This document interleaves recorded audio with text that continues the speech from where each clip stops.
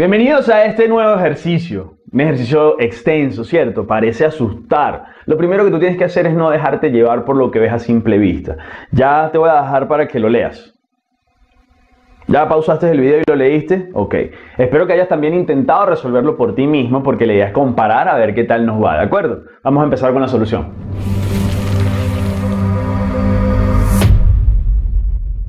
La pregunta siempre es lo más importante. ¿Cuántos comensales van a sentar, se sentarán en cada mesa. ¿Cuántas personas van a sentar? Entonces tú dices, bueno, se supone que van a organizar a personas, a gente. En un albergue coinciden tres grupos de excursionistas de 40, 56, 72 personas cada grupo.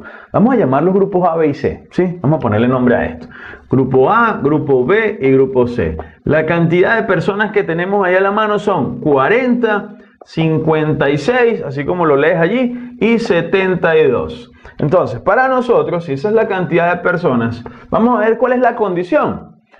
Se quiere organizar de una forma que en cada mesa haya igual número de personas y se reúna el mayor número de personas posible sin, sin, mezclar los grupos. Ahí tú dices, bueno, se quiere separar, dividir. Es un divisor que tiene que ser común para todos ellos.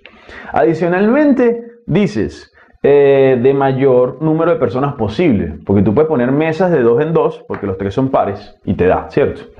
Ah, entonces ahí tú dices, no, pero espérate, espérate un momentico. Si tú quieres tener el mayor número posible y quieres dividir a la cantidad de personas, es un máximo común divisor. ¡Pum! Listo. Ahora, ¿qué vas a hacer? Tú dices, mm, ok, podemos agarrar y separar algunas cosas ahí, puedes descomponer cada uno. Mira la invitación que yo te hago. En videos anteriores de ejercicios eh, te expliqué cómo se hace el máximo común divisor, ¿ok? Cómo se descompone, cómo se hace la cuenta. Aquí ya llegaste con esa práctica y aquí te voy a dar una forma alterna de cómo resolverlo cuando analizas los datos que tú tienes. Hay un número precioso que estos tres valores están en la tabla de multiplicar de ese, de ese mismo número. ¿Cuánto es 8 por 5? 40. 8 hmm. por 7, 56. 8 hmm. por 9, 72. Ah, el 8 es un número común. Entonces mira que por tabla de multiplicar ya de una vez tú puedes sacar que el 40 por ser 8 por 5, el 56 por ser 8 por 7, y allí tú puedes decir, hey, este es un divisor común de los tres datos. 40 entre 8 da 5, 56 entre 8 da 7 y 72 entre 8 da 9. 5 es un número primo, 7 es un número primo y el 9 es 3 por 3 que no está conectado para nada con estos dos. Conclusión, estos tres por nada del mundo van a ser divisores comunes de los tres.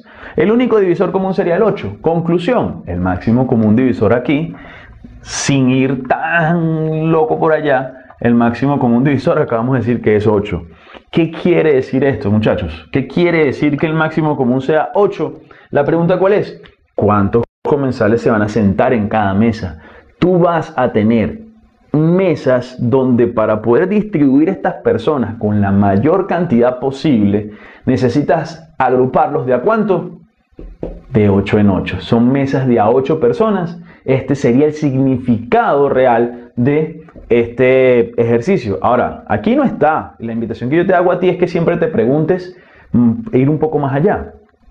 Si te preguntaran, ¿cuántas mesas necesitas?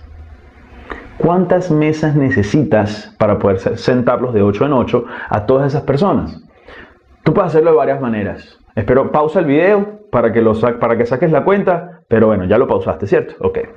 Vamos ahora. Son de 8 en 8. Entonces tú dices, ya va, eh, ¿podría yo sumar todos estos valores y dividirlo entre 8 para saber el total de mesas? Sí. 40 más 56 da 96, 96 más 72 sacas la cuenta, eso es 168 si no me equivoco.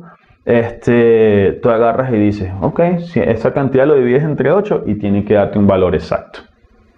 Mm, ya, entonces, pero ya va, ¿Habrá otro camino más sencillo? Sí.